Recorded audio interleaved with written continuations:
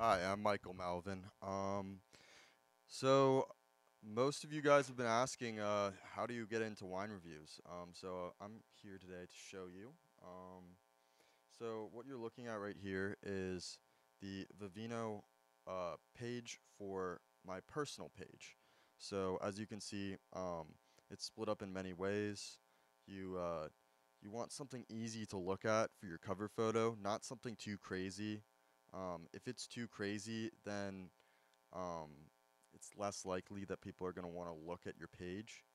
Um, and that said, the same thing also goes for your review as well.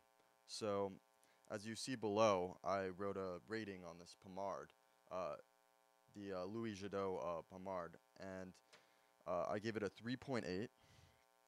Um, and I took the uh, the the color down, the pale ruby aroma, uh, the pale ruby in color, and um, how I did that actually was, um, it, this book Wine Folly is a really good book to get. It actually has a, uh, it's by Madeline Puckette and uh, Justin Hammack, and this book is freaking filled with everything, but in particular, what you guys might like is their uh, their color page, and this makes it really easy to put your wine over, check what color it is before you even know um, what color is what, because um, there's a fine line between the two colors and or between any two colors, and you want to get it right. You know, you want to make good reviews that people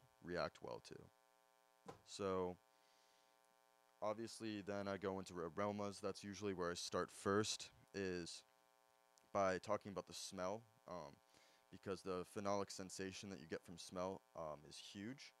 Um, so I wrote raspberries, rose. Yeah, the rose was nice on that. Dry, easy to drink, lively.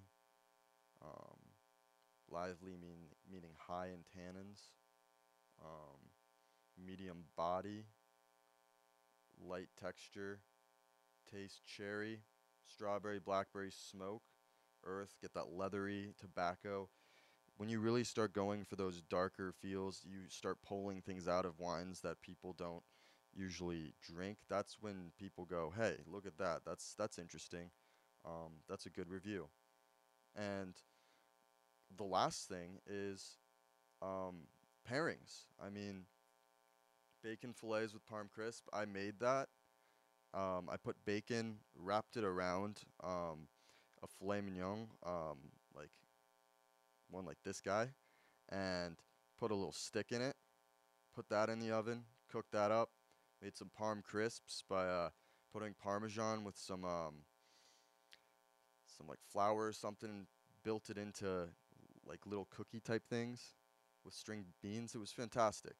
Um, I also think that it would be great with game. So that that additional comment there, great with game, uh, that's good for other people who are looking to pair it with things. So in a way, that's that's helpful.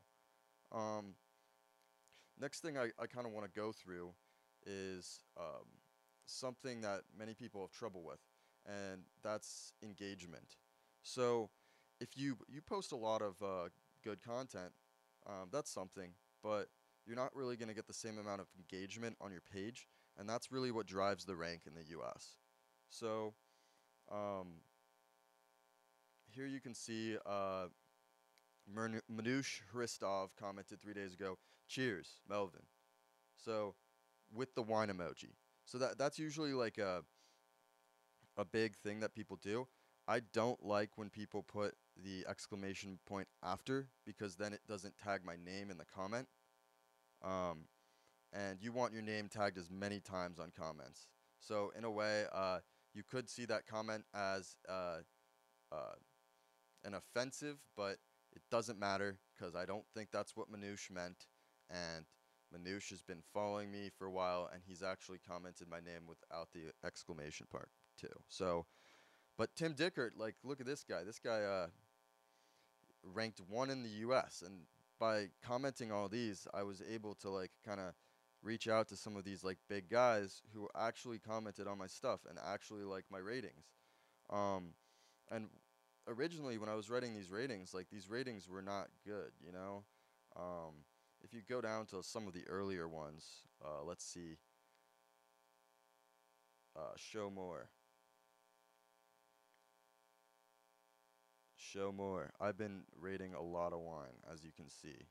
Okay, so like yeah, like this one, super dry. The so for the Joseph Spreitzer Riesling Trocken, it's super dry yet holds elegant long finish, more on the acidic side with honey dip pear with a side of green apple. That's not much. That's uh, gives us some fruit flavor. Tells us if it's dry or it's dry and it's not sweet. Um, and it tells us how long it is and says it's more on the acidic side. So I mean, that is kind of good. It works. It's better than a lot of ratings out there, but it's nothing like the first rating we looked at, um, which rates it as a number. Um, I know I've been thinking about starting to rate it out of 100 too, um, because that's very common practice in the wine industry. But um, overall, like, if you look at the top guys, they have a precise system most of the times. So, how I work around this actually is um, I got this book. Um, I don't know if you can see it. Maybe you can see it now. All right, so the Wine Taster's Journal. This is uh, drink, rate, record, and remember. Really helpful for remembering things. Um, people forget this, but drinking wine actually helps you um, remember big memories with your friends and family. Um, some wines will take you back to times that you hadn't you'd forgotten even existed and you loved and you wanted to remember and you cherish. So I think it's really helpful to write your stuff down in a wine journal. So right here, got the classic wine journal, as you can see here. It's a little checkbox and uh, um, and descriptions. So it goes from like wine, producer, vintage, alcohol level, region, grapes, color, style, color, aromas, dry, sweet, tannins. Um, oh, and before I said lively and I talked about tannins, I actually meant the acidic side of the drink. So just remember that. Um, if it was high in tannins, it would be bitter. So um, taste, finish, food paired with, pairing success, additional comments, and then stars. Super simple, but I've been writing in this, and I think it's it's a good investment. Before, uh, you know, you, you can get a Moleskine. Um, that works perfectly fine, but I've been I, I had the Moleskine. It worked well for when I had it. Every time I went to a wine tasting, it was good, but it wasn't quick, and I would find myself sometimes um, jotting things down and all over the place, not really organizing my thoughts. And this just really, the organization's there. So you just kind of input in. Um, it's just an easy routine to get into. Um, so if you want it, Wine Taster's Journal by Joe Roberts. Boom. Okay. Uh, next, we're going to look into more of the function of the website. Um, as we are predominantly this time looking at um, the website version as opposed to the mobile version, which we will get into tomorrow. So let's see. So we got we've got a followers following type situation where um, it's it's like a social media platform almost where you gain you can follow people, read their wines. So let's see if here on the the website, the Vivino website, it seems that there's not really an easy homepage to access, and it's more trying to make you buy wine, um, which is actually kind of smart. And I've seen them try and do that on the on the mobile app as well.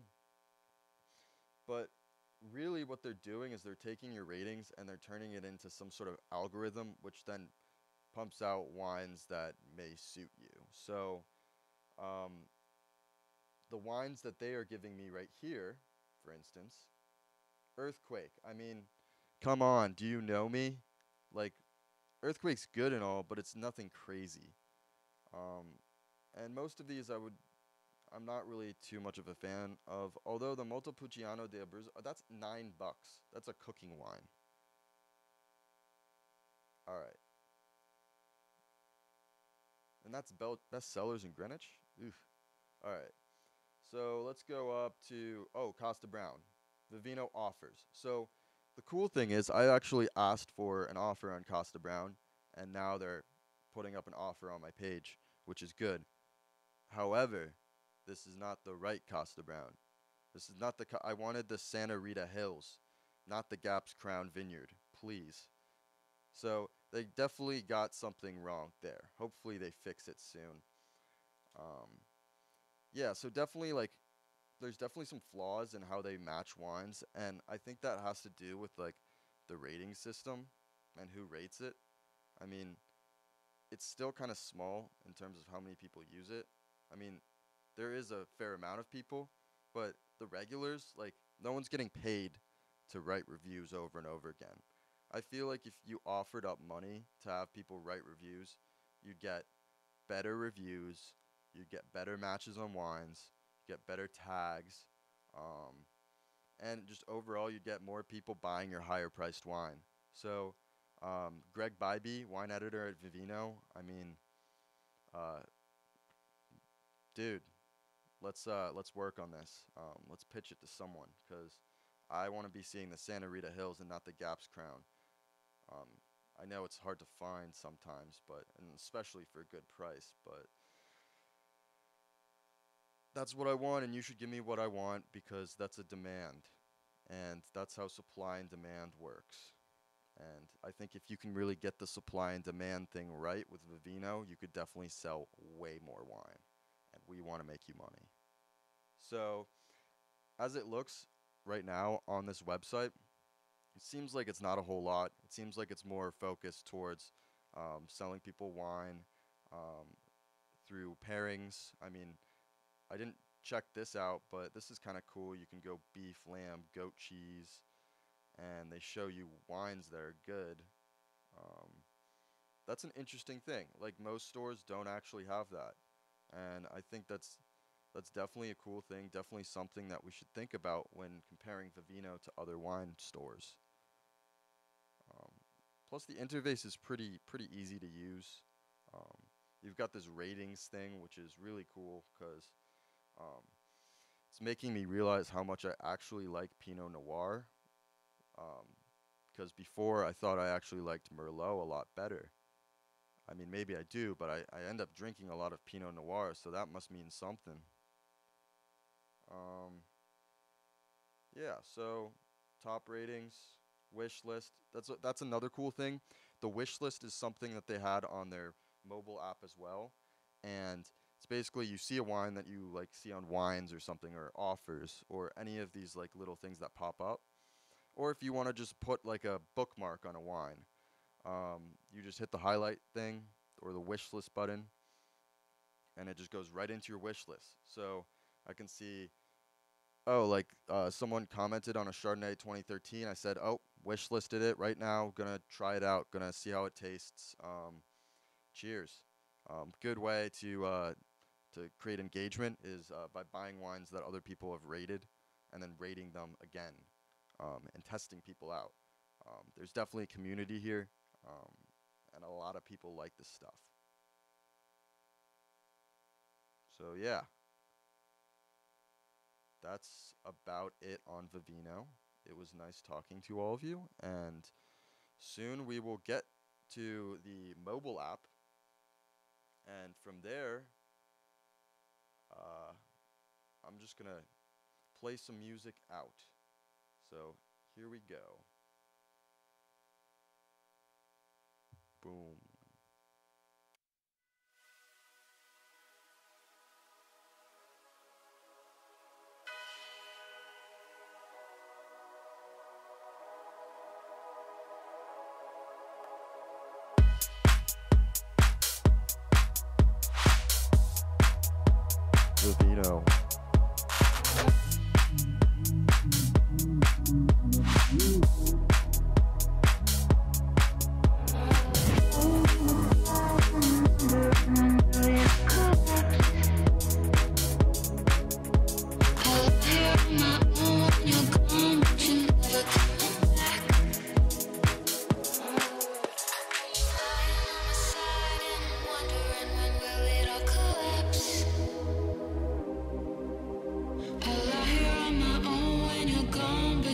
overcoming back.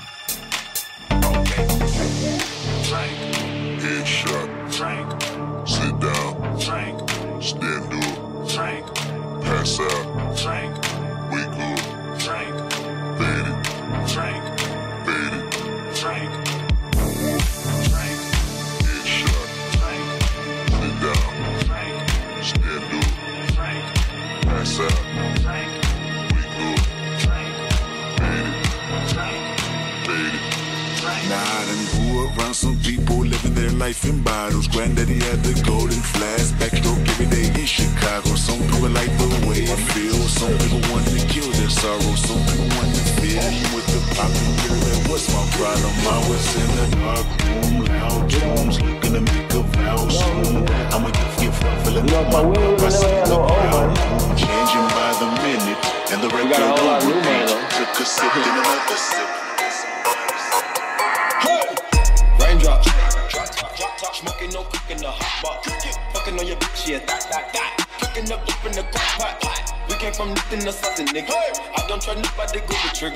Call up the gang and they come and get.